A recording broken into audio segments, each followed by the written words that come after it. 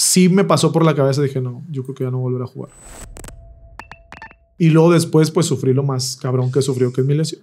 ¿Esta lesión cómo viene? ¿Cómo fue? Esta lesión viene de... De hecho, yo sentí un partido que jugamos aquí contra Rayados, sentí como un tronidito en la muñeca en una jugada que salgo y le, y le tapo a Jansen un mano a mano.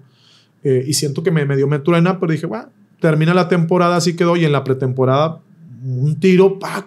Y me empieza a doler mucho la muñeca. Fue un dolor así muy agudo. Entonces empiezo a ir a, a ver especialistas, resonancia y demás. Y no, que va bien, que la chingada. Me sigue empezando a doler, empezando a doler, pero ya se venía el mundial. Entonces eh, veo a los especialistas y me dicen, tienes que operar. Todos los especialistas me dijeron lo mismo, tienes que operar, tienes que operar, tienes que operar. Y yo, no, porque viene, viene el mundial y, y la convocatoria es en octubre. O sea, eso estoy hablando que fue la pretemporada, que fue en junio más o menos. Y la, pretempor- y la última, la última este, convocatoria en octubre, porque pues el mundial fue en noviembre, o sea, era otro tipo, fue, fue en otro formato. Entonces yo dije, no, no puedo dejar de jugar porque si dejo de jugar No y me opero, no voy a llegar al, no voy a llegar al mundial. Entonces, y también el entrenador que estaba en su momento ahí en Tijuana, no, pues que los primeros partidos son los más importantes y que pues es la lista y que esto y que el otro. Y digo, decidí no jugar, me infiltré y pues me aguanté, la verdad, me aguanté. Eh, jugamos, el equipo iba muy bien, muy, muy bien. Íbamos en los primeros lugares, fuimos y le ganamos a Cruz Azul de visita y estábamos hasta en cuarto lugar y de repente no sé en qué momento hizo un, un clic y el equipo se fue para abajo. Se fue para abajo, no pudimos ganar ni un partido. ¿E- ¿Es, es bronca eh, eh, física? ¿Es bronca estratégica? ¿Es bronca mental? El, el que El, el- el- en conjunto que se ha ido para abajo. Yo creo que es más un tema mental.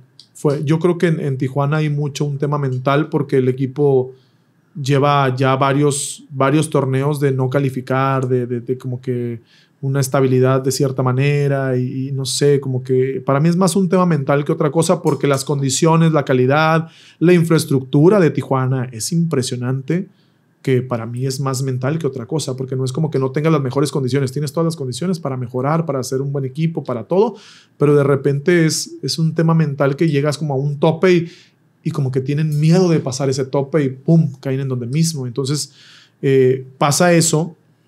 ¿Y jugaste lesionado todo el Jugué tiempo? lesionado toda la temporada, con un dolor impresionante, eh, fijado, con mucho dolor. A veces ya no entrenaba, o sea, entrenaba una o dos veces por semana porque tenía mucho dolor en la muñeca, pero el entrenador quería que siguiera jugando. ¿no? Yo, pues bueno, yo juego, nomás dame chance de descansar, ¿no? Sigo jugando, termina la temporada y me opero.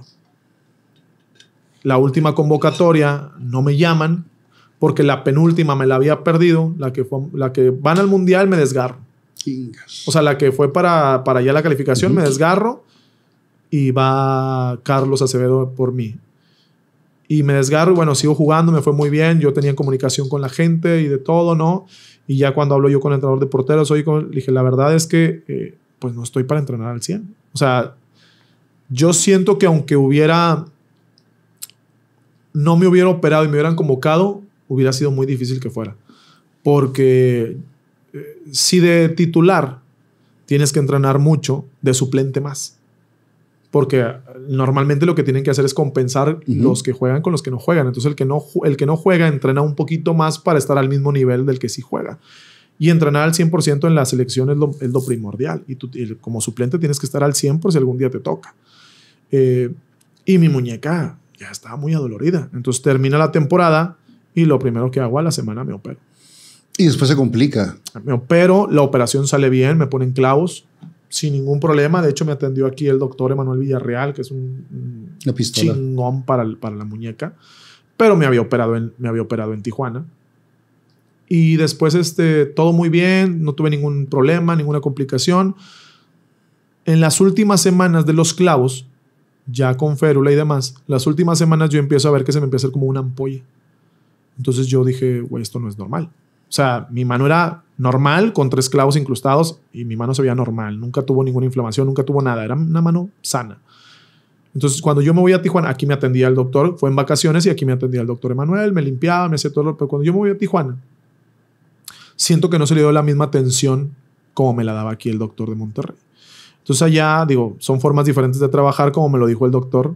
Este, me sale como una ampollita y oye, doc, mira, y esto, y lo otro, no, es normal, que esto, que lo dije, no, es que esto no es normal, o sea, es una ampolla en los clavos. Entonces, ¿sabes qué? Pues vamos a retirar clavos, ¿no? Me retiran clavos, me dolió, como no tienes una idea, porque ya se me estaba inflamando por dentro. Me retira clavos. Y ¿Qué infección? se me hace una bola impresionante en la mano y empieza un dolor muy agudo. Un dolor que, que me hacía tomar opioides okay. para poder estar controlando el dolor. O sea, tomaba mil medicamentos y entre ellos tomaba gotas de opioides. O sea, tomaba este, el tradol y pues andaba todo así y aún así no me quitaba. Y yo no soy de los que me, de los que se queja. Tú sabes que yo soy un no, no, no, te mal, la chingada y me duele y sí, pero no pasa nada y estoy acostumbrado al dolor. Pero esa vez fue un Ya porque te había tumbado el dolor es porque estaba muy tan fuerte. Intenso, tan intenso que yo no podía con el dolor. Y le digo, es que me duele y me duele y me duele y me duele. No, que es normal, espérate, que va a bajar la inflamación. Oye, no baja, hielo, no baja, no baja, no baja. Y a la semana, ¿sabes qué? Vas a quirófano. Porque cuando me hacen exámenes médicos de sangre, salió mal ahí la reactiva. Me abren la mano. Primero fue nada más los clavos aquí y esto era todo lo que tenía, que es una cicatriz muy chiquita, era algo porque por aquí entraron para lo del tema del, ligamento. El ligamento está bien, sin ningún problema, pero la infección es lo que complica todo. Me abrieron toda la mano. Para limpiar todo. Para limpiar todo. Todo, limpian todo. Cuando yo me quito el vendaje, o sea, que ya me lo quitan, que me toca como al mes que me quitan el vendaje, eh, me veo la mano y dije, a la madre. Este pedo sí estuvo muy, muy fuerte. O sea, yo vi una mano, la del dedos de Merlina, güey, real. O sea, impresionante. Eh, sí me pasó por la cabeza, dije, no, yo creo que ya no volver a jugar. Aparte no podía mover la mano. O sea, yo podía mover el brazo, pero la mano, yo me tardé cuatro meses en poder mover los dedos. O sea, solamente el simple hecho de levantar un dedo me tardé cuatro meses. Wow.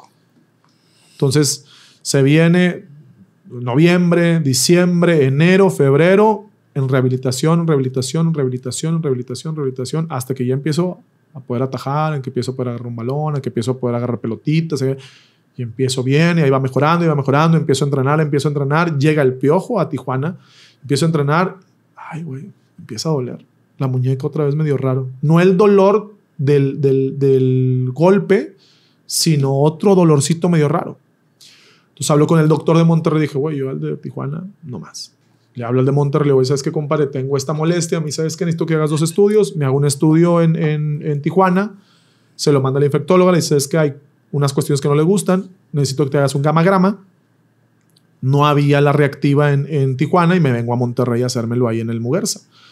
Me hacen, me toman las, la, como la tipo resonancia y sale pintado todavía.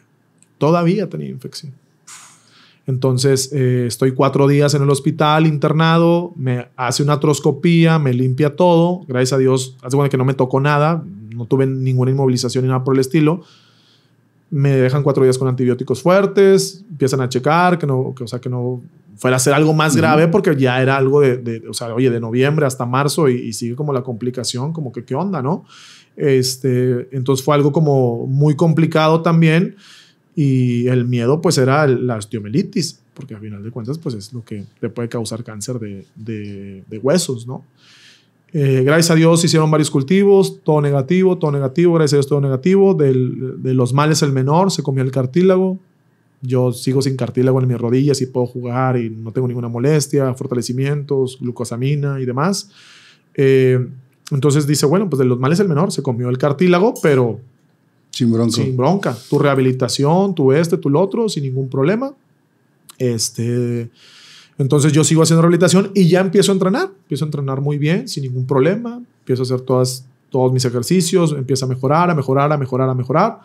Eh, tengo una limitante todavía, pero ya atajo, ya me aviento, ya me paro, ya, o sea, ya no tengo ningún problema en el tema de la muñeca, pero sigue en un proceso de, de, rehabilitación, fortalecimiento y demás, ¿no? Este, entonces terminan mi contrato en, en Tijuana y me dicen, es que pues no vas a entrar en planes.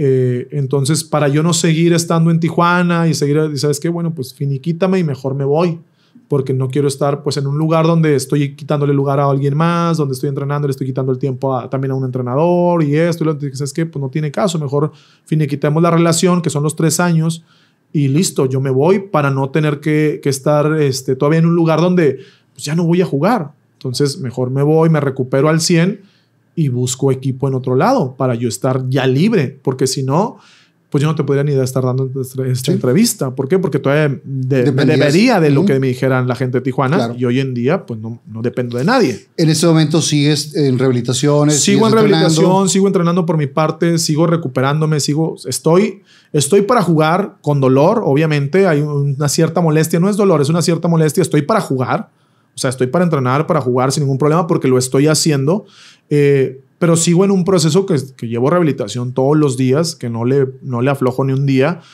Porque realmente el, el tema es que mi mano vuelva a estar al 100% Claro. como, como era, ¿no? Eh, y es un proceso que no es, no es rápido.